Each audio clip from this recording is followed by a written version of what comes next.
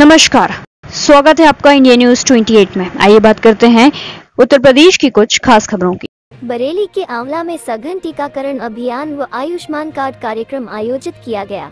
खबर उत्तर प्रदेश के बरेली ज़िले की तहसील आंवला के रामनगर ब्लॉक में मेरी माटी मेरा देश, सघन टीकाकरण अभियान और आयुष्मान कार्ड कार्यक्रम को सफल बनाए जाने हेतु ब्लॉक के समस्त ग्राम प्रधान, सचिव, पंचायत सहायक और स्वास्थ्य विभाग के कर्मचारियों की उपस्थिति में बैठक की गई।